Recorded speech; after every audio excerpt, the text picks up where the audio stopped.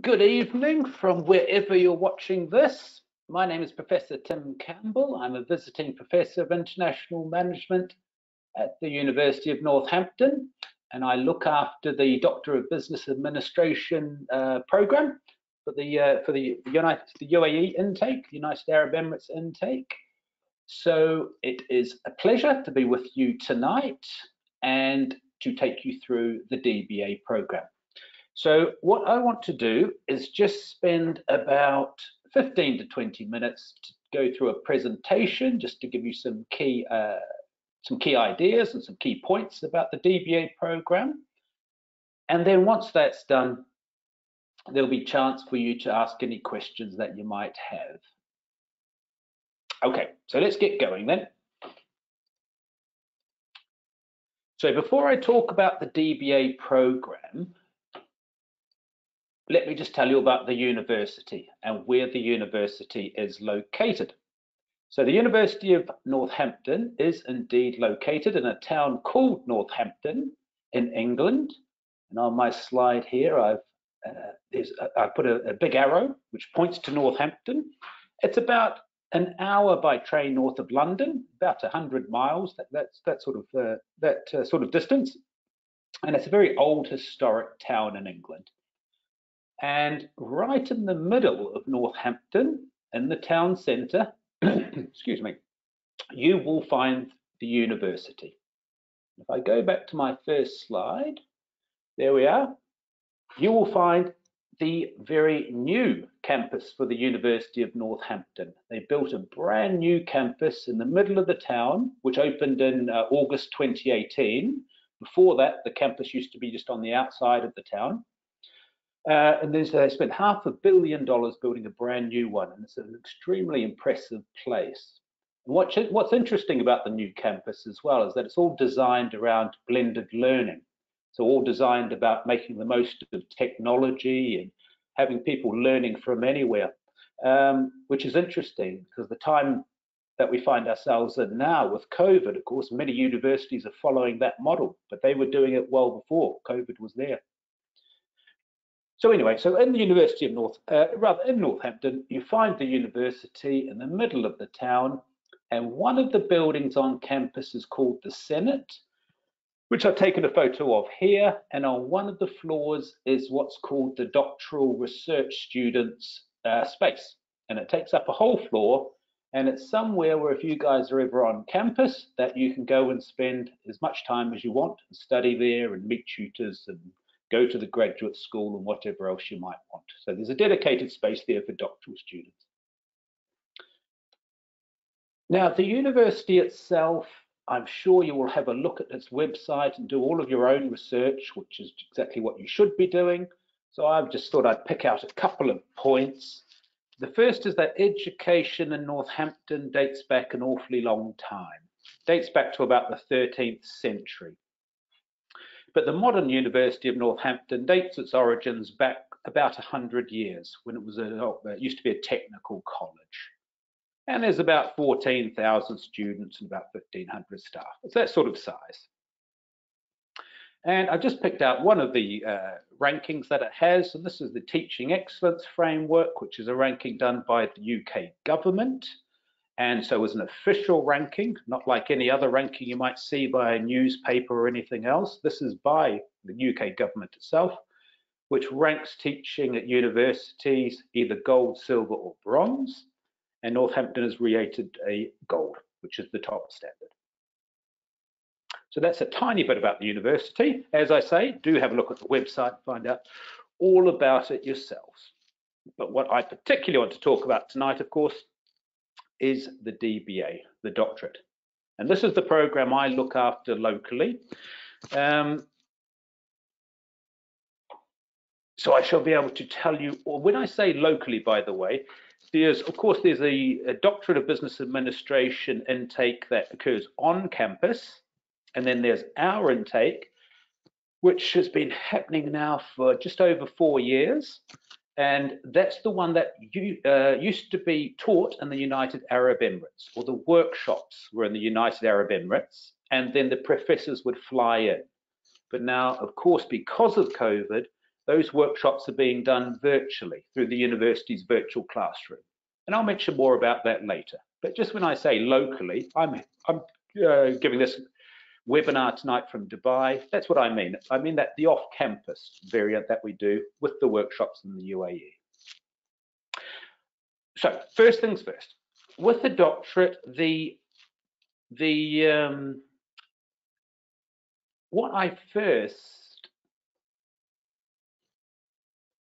just rearrange my screen. One of the major, one of the, the, the first questions I usually get with when I talk about the doctorate of business administration is, well, what is a doctorate? So I thought I'd just spend a, just a couple of minutes on that. Now, doctorate degrees have been around for hundreds of years, since medieval times, and they've changed quite a bit over the years, and they change depending where in the world you are. And, uh, and for, and for example, in the USA is a bit different than the UK, etc. But in its modern terms, a doctorate we consider a terminal degree. What we mean by that is it's the highest degree that you can obtain. Now, there are some very small exceptions to that rule. There are some postdoctoral certificates and things, but essentially it is the highest degree that can be attained. Normally it's a bachelor's, a master's, and then a doctorate degree. So you're at the very highest level. And within doctorates themselves, there are two types. One type of doctorate is called a research doctorate. And the most common type of research doctorate that you, I'm sure you would have heard of, is a doctorate of philosophy, a PhD. And research doctorates are exactly that. Somebody undertakes this research to find out something new, some new knowledge. There could just be a new theory. A PhD can be done in any type of uh, discipline and any type of subject. And these types of people are people you'd normally find within academia or research institutes. Now, the other type of doctorate that we do that's done, which is at exactly the same level, is called a professional doctorate. And these doctorates are for people who are not primarily engaged with research in their professional lives. They're engaged within an industry, within an organization. So, for example, the one you probably come across the, mo uh, the most more often is a medical doctor. A medical doctor does an MD. That's a doctorate for people in medicine. Uh, there's a doctorate for engineers in, in EngD, doctorate of engineering. There's doctorates for people in the pharmaceutical industry. There's doctorate of education for people who uh, want to get to the highest levels of education uh, and within that uh, within that industry. And of course, the professional doctorate for business people are DBAs. Those people are primarily engaged within industry, within organizations of business and management. That is the doctorate of business administration. So you see that the two different types of doctorates, one primarily engaged with research, the other you're primarily engaged within industry. So these two doctorates, the PhD and the DBAs, they're academically equivalent. They're on the same level. The only difference is the DBA is more applied, it's more practical, if you like, whereas a PhD could be purely theoretical. And there are quite a few similarities between the two. They're actually both research-based degrees. If you do a PhD or a DBA, you will do one big research project. But as I say, the difference would be with a DBA, it'll have a more practical outcome. And of course, and both confer upon the bearer the title of doctor. Once you complete a doctorate degree, that is the title that you use. Just to make just one more slide on that, because I think it's an important distinction just to, uh, to make clear. This slide's a bit wordy, so I will read through it. And it's just from allbusinessschools.com, but I quite like it. I think it makes the distinction clear. So let me start at the top. PhD programs in business focus intensively on preparing candidates to conduct, excuse me, highly specialized scholarly research. They focus on the development of new theory in management, economics, and related fields. Most PhD in business administration graduates lead to careers as university researchers and professors or as senior researchers in business or government. The next one, DBAs. Doctorate of Business Administration, DBA programs focus on the application of theory rather than on the development of new theory. The Doctorate of Business Administration, by virtue of its focus on the application of theory or the practical elements, has a more practical application in managerial settings than the PhD. So as I say, it's a bit wordy, but I quite like how it makes that distinction and how it just tells you how a PhD and DBA differ. But of course, it's not a cut and dry rule. There are plenty of people who have PhDs who work in industry, and there are plenty of people with DBAs who work in universities. But this is the basic distinction between the two. All right, let's move on from that. So what sort of topics do DBA students do? What sorts of things, practical things, do they research? So here I've just picked on some topics that our current students are doing. And it's just a random selection. They really do all sorts of different things in all of the different fields. So it could be anything in human resource management uh, to organizational behavior, finance, accounting, uh, business ethics. Uh, it can be uh, project management or operations, supply chain, anything business and management. So some of the topics our guys are looking at a critical examination of a performance management system. Uh, I've got another look at leadership styles and employee performance. Uh, one in the public sector, an assessment of corporate governance in the public se sector. Uh, assessing the value chain in a manufacturing business, reasons for investing in high-tech startups, resolving project conflicts, agile project management, uh, and then one looking, one of my students actually look at the knowledge transfer and management training sessions. So you can see from that list how it can really be anything in the business and management field. And I'm actually seeing quite a few proposals coming through at the moment that are looking at things like social responsibility, uh, risk, sustainability, environmentalism and business, and these types of topics as well. So anything like anything business and management can be done.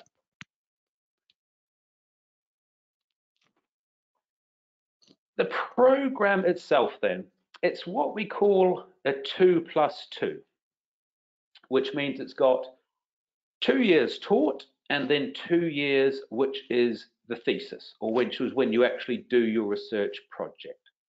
So the first two years, you study six different modules, and these tell you, tell you everything you need to know about how to research, how to do it. Now, as I put on the slide here, these workshops used to take place in the United Arab Emirates over three days, a Thursday, Friday, and a Saturday. So for example, the first module would be Principles of Research. It would be a Thursday, Friday, and a Saturday, and then you would, the tutor would, uh, the professor would fly in from the University of Northampton, take you face to face for those three days, and then and then you would um, deal with your tutor and do your assignments at a distance for about the next three months. You would then hand in those assignments and then you would move on to your next module, advanced quantitative data analysis. So you do these workshops three days, work distance with your tutors, and then make your way for the three years. And then once you got to the second two years is when you work with your supervisors. You actually work with three of them, a director of studies from the University of Northampton, and a first and a second supervisor, and they direct you through independent research when you actually do your big project. But as I put on this slide, because of the situation we're in at the moment, all of these workshops are now being taught virtually. So you, you, we use a virtual classroom where your professors are the same professors who would have flown here to take you for these modules, but at the moment, they're having to do it virtually um, because there's simply no other way we can do it at the moment. So you're going to be taught in exactly the same way, the same things by the same people, but you're going to be using uh, the virtual learning environment that the university uses. So bear that in mind. The other thing to bear in mind is the next start date. It's very soon, the 12th to the 14th of November. And I know the consultants at Stafford who you would have been working with to get you here at this webinar tonight We'll have given you all the information and are finalizing applications for that intake. We have two intakes a year. The one after November will be May of next year. So every about May and November we have intakes. So that's the program. Assessment. So all of these, the first two years, all of these modules have different types of assessment and they could be an essay, a seminar presentation, a debate, a portfolio, reflective report, and all sorts of different things, okay? But your, your professors at each module will tell you exactly what they expect from you. There are no exams, they're all some form of an assignment. And that second two years, when you do that big piece of research yourself, the thesis, that's when you come up with a 40,000 word document, and that's assessed by a viva voce examination. That means an oral examination. And that's the only time where you do need to go to the University of Northampton and you'll, uh, for that examination be assessed.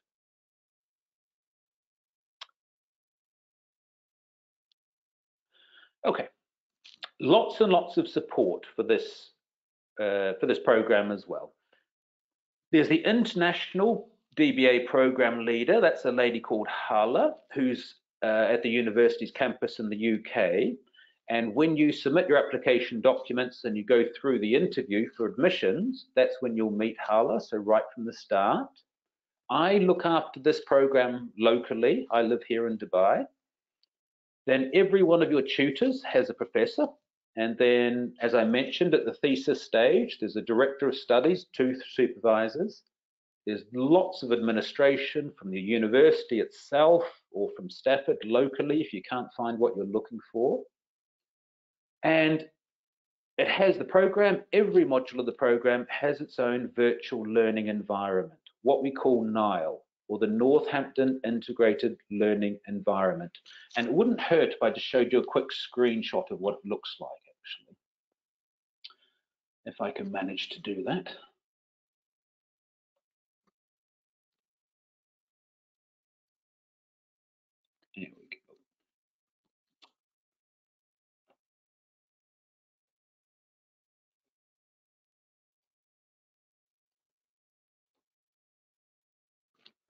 Okay, you should be able to see that now. So this is what Nile looks like. This is just the main page, and on the left there's all sorts of things I'm not going to look at. But if I just pick one of the DBA module, this is quantitative analysis, and I go into it, you should be able to see that's okay. This is the, this is my view of it, so you'll see some things that are for staff and not for students. But anyway, you get the idea. Down the side, this is where every module, where all of the communication happens, the announcements and the contacts, all the module activities. And if you look there, there's the button for the virtual classroom. So on those three days, that's where you're going to click and you're going to see your tutor and all your classmates, where all your reading and resources are. This is where you assess and submit your work and things like that.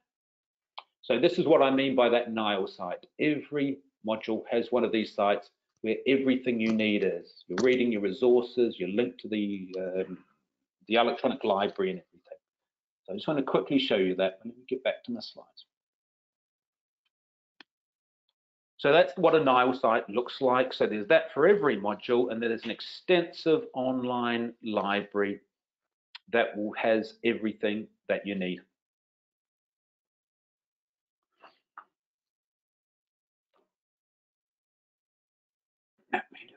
Uh, main screen.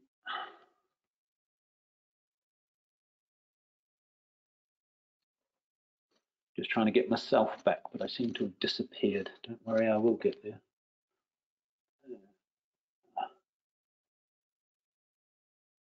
Doesn't matter, that should be okay.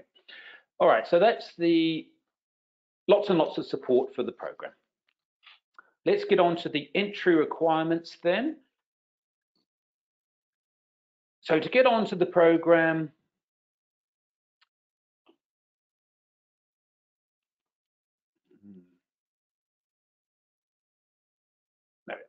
So to get onto the program, you need to hold a master's degree in a business related subject completed within the last 10 years. But if it is longer than that, as long as you can show that you've been keeping your knowledge up to date by doing training courses at work or something like that, it should be okay. We also look for a minimum of five years work experience, at least some of which should be at a senior level. and that you're employed in a leadership management role capable of supporting the program learning outcomes. Remember, the DBA is all about for people who are working in industry, who are working as managers and, and leaders within industry. So that's your entry requirements that we look for.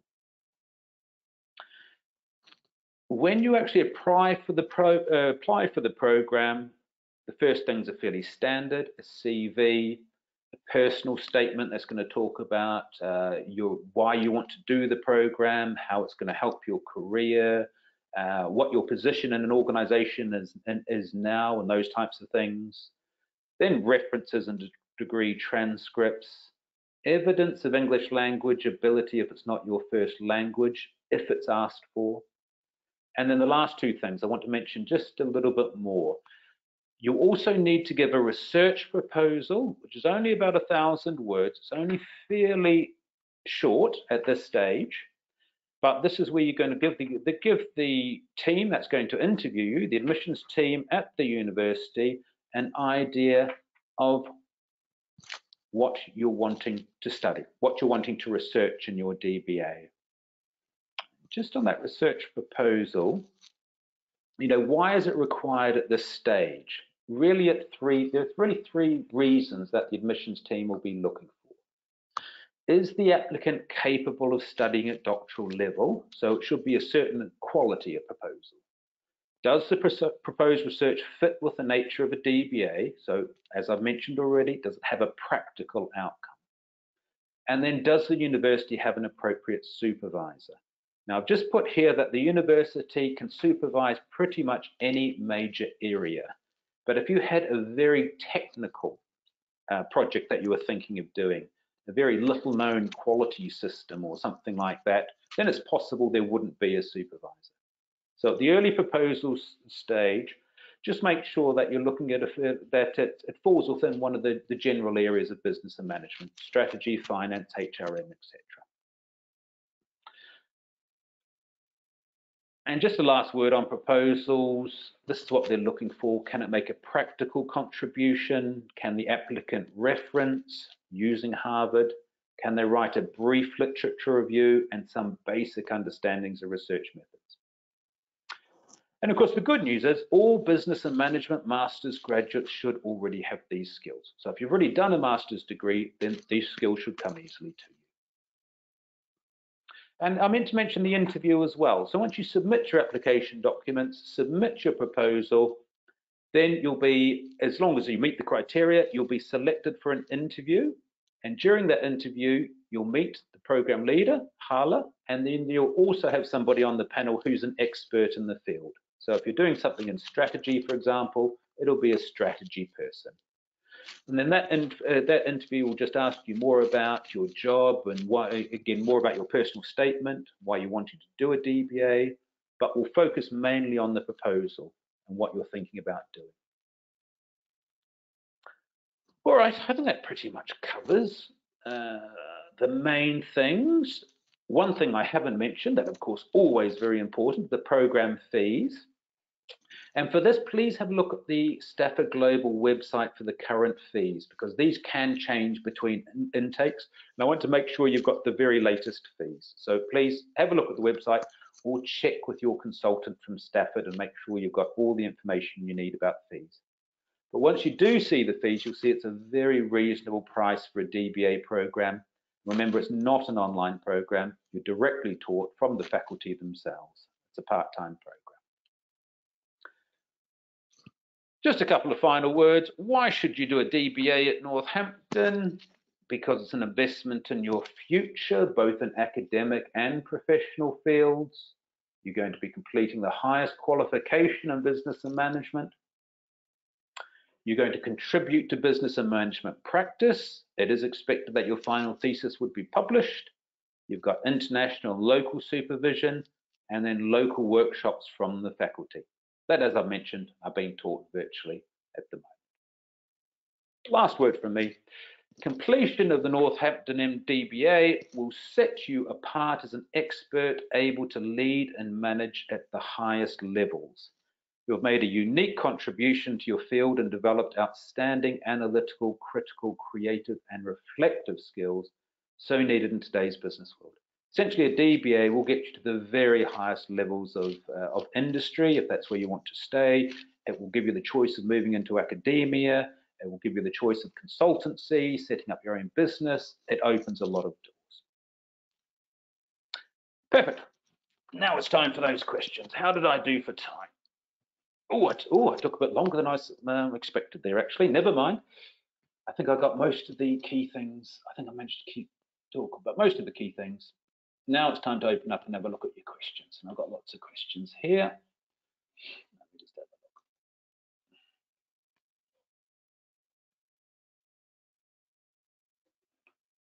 Okie dokie. And just before I do those, I'm going to find my webcam because I lost it somewhere.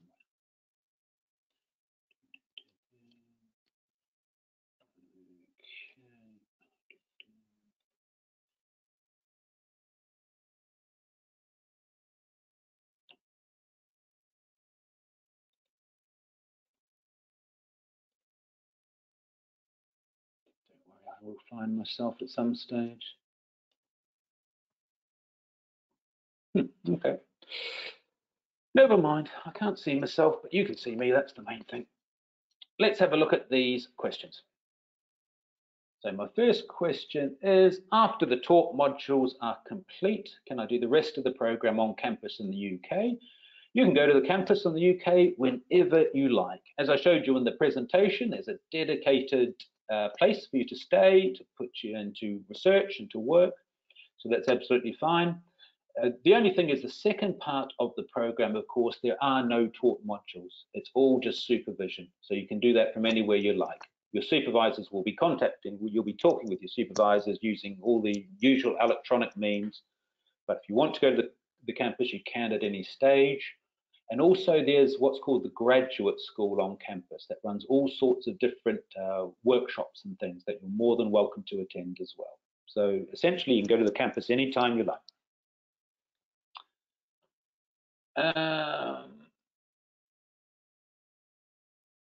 yeah, okay. Catherine's saying, will I be able to meet my supervisor here in the UAE? Now, I'm not sure how many of you listening to, listening to me tonight are even in the UAE. Probably not. I think you're probably all coming th from throughout the Middle East and Africa, uh, primarily. But it's depending wherever you are. Would you meet your supervisor? Um, of course, you, it's not possible at the moment. You know, it, no, no, nothing face to face is at the moment. But assuming once the COVID is all settles down and everything gets better, um, it, it's it's possible. But generally, you're going to meet your supervisors electronically, depending where they are on the world there's not really any major benefit to seeing your supervisor face to face, I don't think. You know, meeting them via Skype or one of these these technologies that we use is absolutely fine. But if the opportunity arose, of course, you would be welcome. And of course, if you wanted to go to the UK and meet your supervisors, that's absolutely fine as well. But I don't think there's any particular benefit in doing so. I stopped my DBA studies at another university. Can I get exemptions on the modules completed? And not for this DBA program. For this one, you really need to begin from the beginning because it all builds on, uh, it all builds on, each module sort of builds on itself. So you need to start the journey from the, from the beginning. That's the best way to do it. And then we've got a question about the interview. So as I mentioned, the interview will be with the International DBA Program Leader, Hala and a specialist in your subject area, whatever the proposal is on. It takes a maximum of 30 minutes. And if you're preparing for it, just be prepared for questions about your professional practice. So what your, your job is at the moment and the industry that you're working in and that type of thing. Um, but most of it will be on the proposal. So make sure you know your proposal very well about what you're planning on doing. You know, at this stage, they're not expecting the proposal to be anywhere close to perfect but it should be at a standard that suits admission to the program and the idea should be developed enough. That's really all they're looking for at this stage. I completed my master's degree about 13 years ago, but have extensive senior managerial experience. Will I be able to apply for the program? Uh, yes, so you completed the master's degree about 13 years ago. We normally look for a master's degree completed within the last 10 years, but if it's a little bit longer than that, it will be okay as long as you show some evidence that you've kept your knowledge up to date. So you've been doing some management training at work or some short courses at work, something like that should be fine. What is the duration of each module? So in the first two years, there's six modules. So if you divide those basically up, you're looking at about three months per module. And then when we can get back to having face-to-face -face workshops, you would need to come here to the UAE for those three days.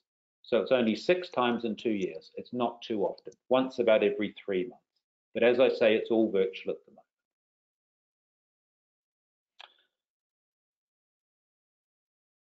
This is a good question and a tough one as well, actually. Based on experience, on average, how much time should be dedicated per week for these modules to complete the modules? You know, that's that's a tough one to answer because different students will pick things up faster than others. And also in my experience, some people will find some modules easier than others. So for example, one of your modules is quantitative analysis. Now, if you have a background in that already, you'll find that fairly easy. If you don't have a background in that, you're going to have to spend more time. But, uh, but to give you a bit of a, a, a guess, if you like, or an average, I think if you can set aside eight hours a week, I think then you would be, that would be the sort of thing to think about. And some students might do that a few nights a week. Some people might just do it on one day per week and focus on their studies but that's probably about what we'd look at.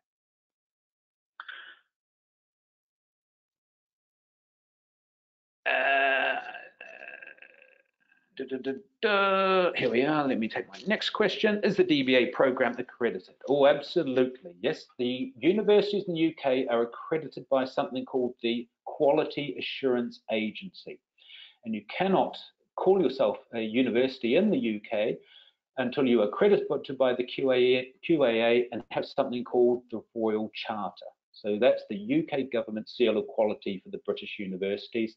And if you have a search on Google for QAA and um, the, look at the government's own website, it has a list of recognised universities. You can go on there and you'll find the University of Northampton. And then you talk about the private accreditations, such as AACSB, etc. University of Northampton hasn't looked at private accreditations yet. What I mean by private is they're not governmental, they're just done by private profit-making uh, organizations. Um, and there are some benefits to it for, for universities, and there are also some downsides to it as well. For example, if you're already accredited by the UK government and, um, and inspect, inspection is mandatory by the QAA, why do you need an extra private accreditation? You know, so there's questions around these.